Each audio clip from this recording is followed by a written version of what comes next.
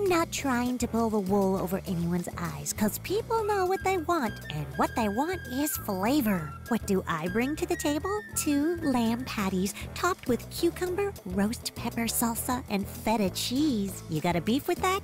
I say bah to you. The Notorious Six, the biggest, baddest burgers in town.